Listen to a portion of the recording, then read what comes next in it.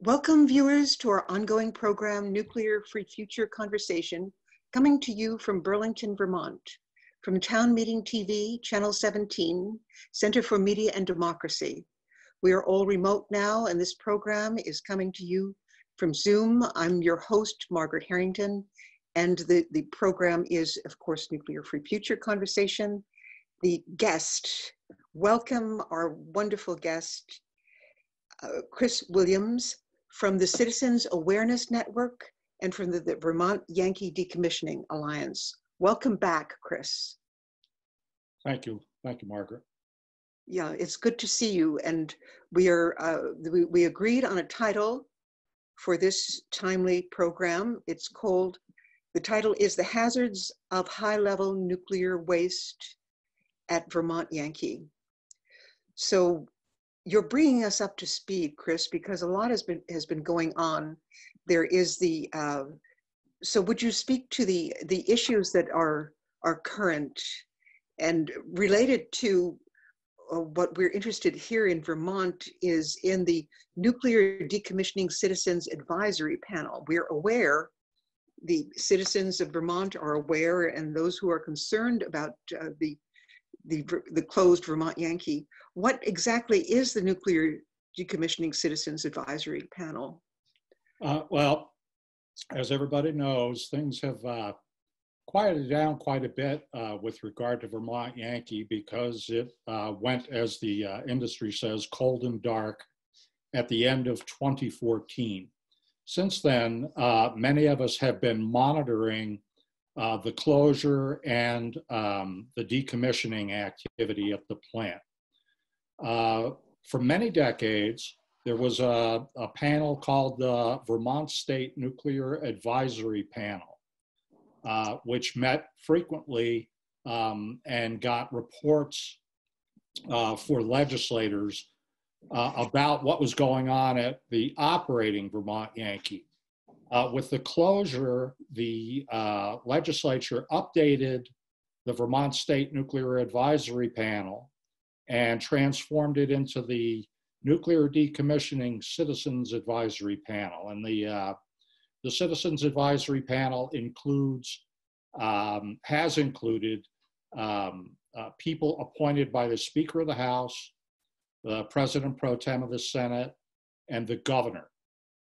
And so we had um, uh, citizens as well as uh, members of state government, including the Vermont Department of Public Service, the um, uh, Vermont uh, uh, Health Department, and, uh, and other entities, including the owners of the plant, which for the longest time was Entergy and is now North Star.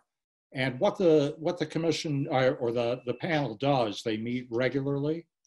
Um, now they're down to about four meetings a year.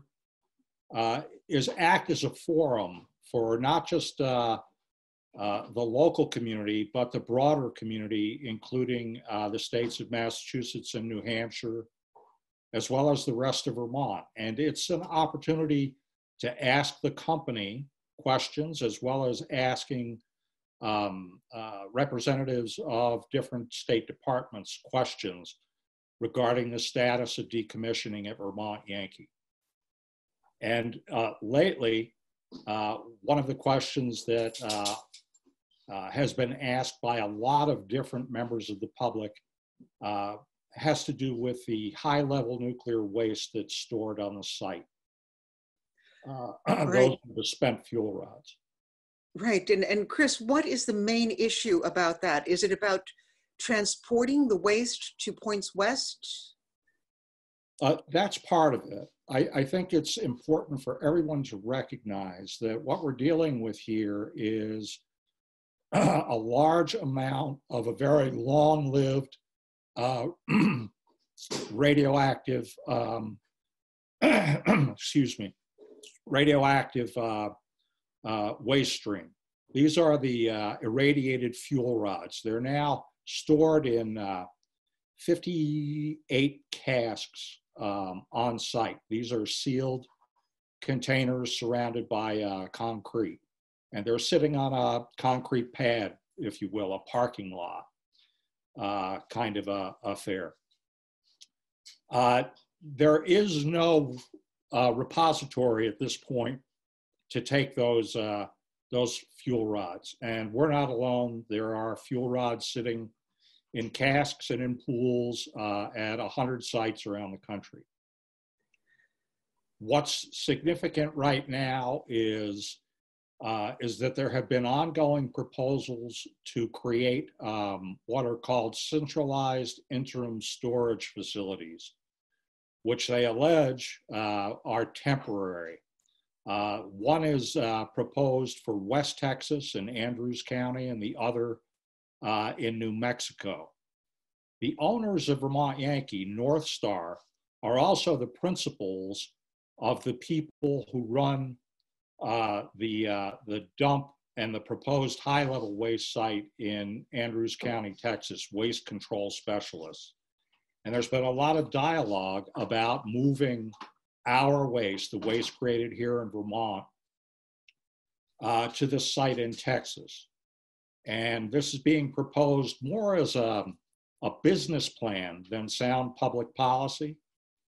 And so many of us think it's very important that this issue is raised and fully discussed before the nuclear uh, decommissioning panel, the Citizens Advisory Panel, because there are issues regarding environmental justice.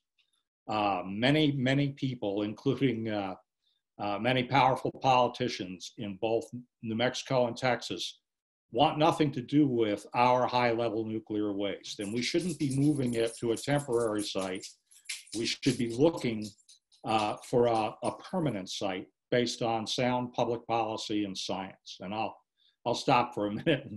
Okay, well, well, you just brought up to me the the uh, the word ownership comes to mind. So actually, Vermonters own this nuclear waste, and we also own responsibility for it. And so that the the Citizens Advisory Panel is there to uh, to give us information to discuss the issues? And do they have the power, Chris, to come to a conclusion? Or to uh, what does their advice go to? Uh, where does it go to the Vermont legislature or, or where? Yes, they they they uh, issue advisory opinions to the legislature. They have written to our federal delegation regarding policies. Uh, in 2015, they signed on to a letter with the other Yankee sites um, in New England, Maine Yankee, Yankee Rowe, and Connecticut Yankee, um, seemingly supporting this uh, concept of centralized interim storage. It kind of came across as, you know, anywhere, we don't care where it goes, just get it out of Vermont. And many of us see that as being extremely irresponsible and uh, uh, uh, downright uncaring when it comes to these other communities. Uh, and it's our responsibility, uh, since we um, uh, benefited from the electricity, seemingly benefited from the electricity created uh, in producing these spent fuel rods, that we now, you know, take responsibility for what we had a part in creating and do the right thing. We need uh, a, a, sound public policy decisions uh, and discussions. Uh, we need to base them on science. And at this point, you know, we really need to be patient because we really need a process if we're going to guard this uh, material safely for hundreds of thousands of years. That's what's at stake here. So we have to do it and we have to do it right you know, Chris, the the F-35s are roaring across the skies here, and I didn't hear the the end of what uh, what you said. Uh, are but I think that you segued into how we, as a, not members of the panel, how we we can, as taking Vermonters taking responsibility, how can we, uh, we how can we besides a, a program like this and your many different organizations you belong to, how can we uh, make our voices heard and, and how can we uh, act upon what we have learned? Well, uh, there are uh, websites you can visit uh, for Citizens Awareness Network, um, the Nuclear Information and Resource Service, which is nirs.org, to learn more about these uh, proposals regarding centralized interim storage of the spent fuel. It's also important that uh, after you've learned more about the issue, uh, that we communicate with our politicians. Uh, in particular, uh, Peter Welch, Congressman Peter Welch, has been very supportive of this concept. And I, along with many others, have tried to convince him that moving this, uh, this uh, waste uh, temporarily to a, you know, to a site is uh, irresponsible and dangerous, that we ought to be figured, figuring out where it should go and uh, use science and good public policy, and then only move it once. So communicating with Peter Welch is important, as well as Bernie and Patrick Leahy. Uh, in addition to that, it's important that we uh, um, let our opinions be known to the Nuclear Decommissioning Citizens Advisory Panel.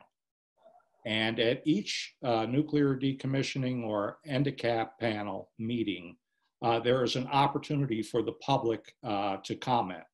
And many of us do that regularly and routinely.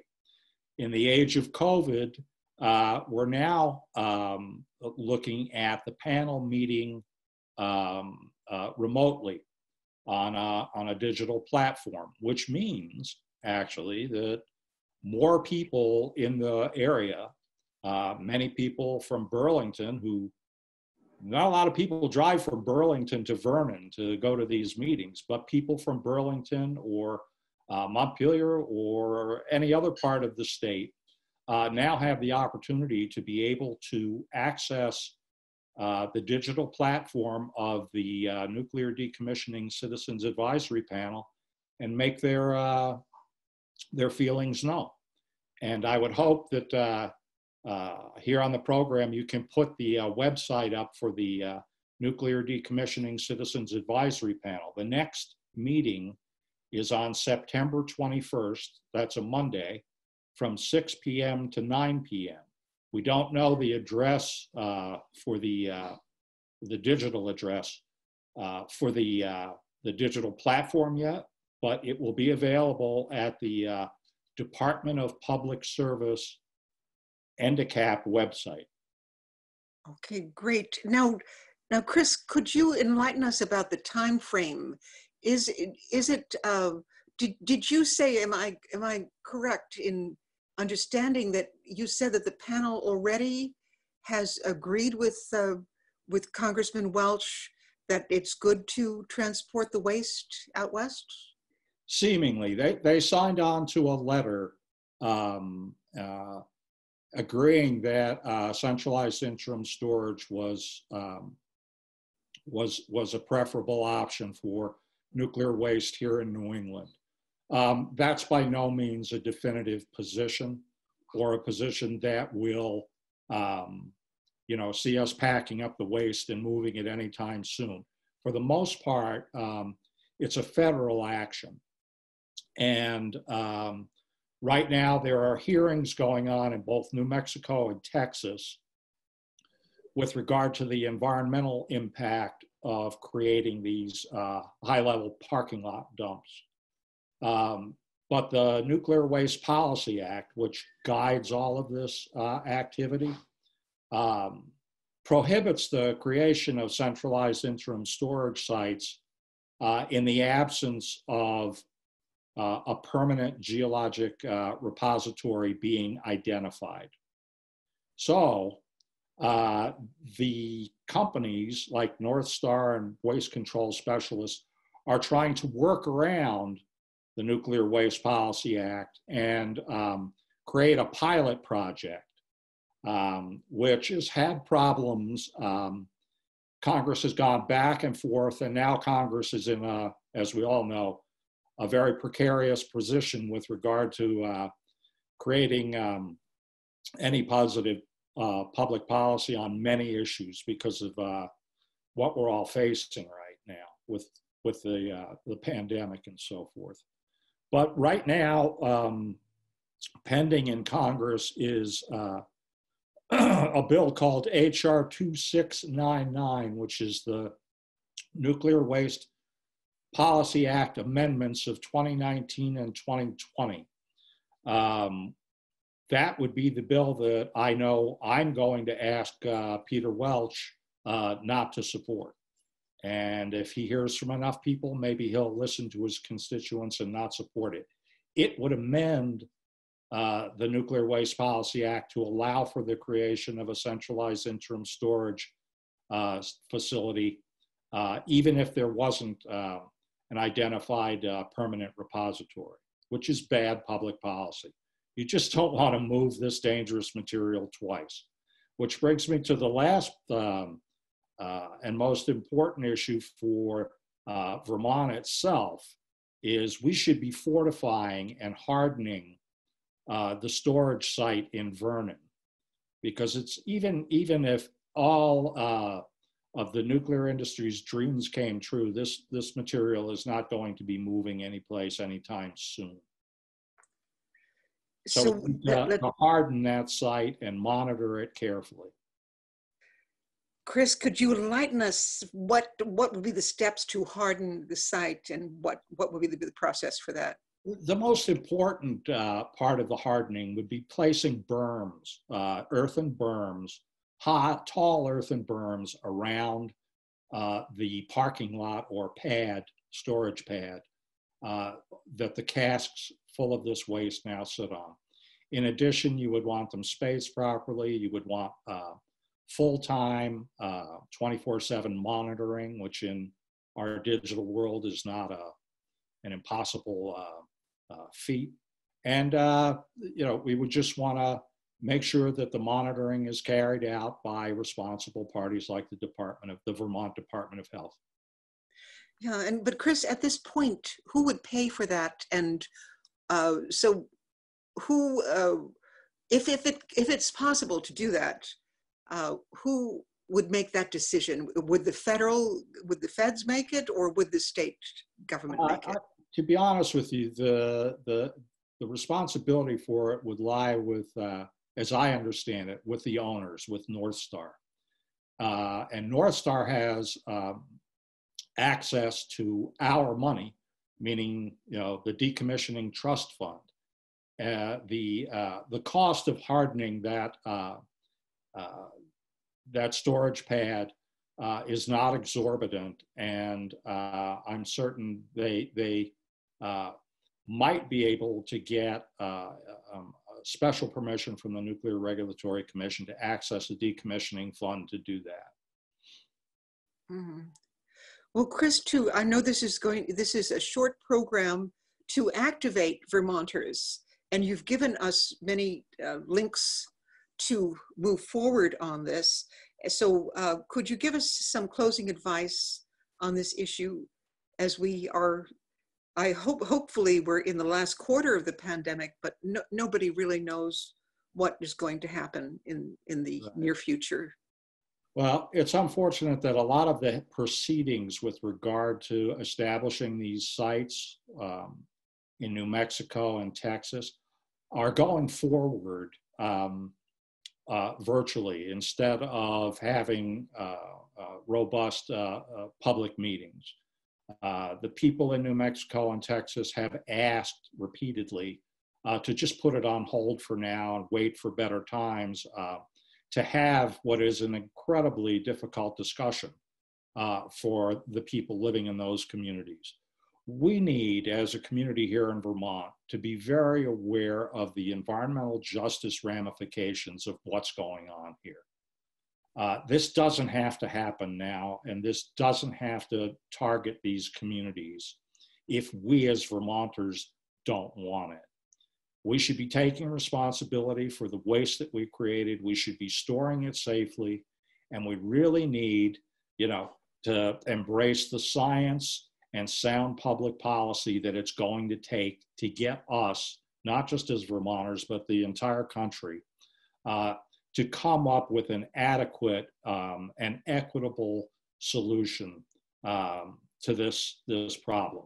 And it's it's bad news everywhere you turn when you talk about this kind of high level nuclear waste. There really aren't any good solutions. So we've got to find the best ones that we can and and fight hard to see to it that we don't cut corners, that we don't kick the can down the road, that we in fact, you know, responsibly embrace the problem we've created and and do the right things. Thank you. Thank you so much, Chris Williams. And, and we will continue this discussion as the, as the issue is not going to go away soon. And, and thank you for your many, many decades being an, a, a peace activist and anti-nuclear activist. You are a, a, hero to many of us, Chris Williams, Vermont well, Yankee Decommissioning Alliance, Citizens Awareness Network, and, and uh, the other organization uh, the Nuclear Information and Resource Service, nirs.org, based in Washington, D.C. And, and thank you for this program, Margaret, and your commitment to, uh, to keeping the public informed on these important issues, as yeah. boring as they may be sometimes. yeah. Oh, eh, but as timely. Okay, on, onward together. Thank you, Chris Williams. Thanks, Channel 17, Center for Media and Democracy. Till next time.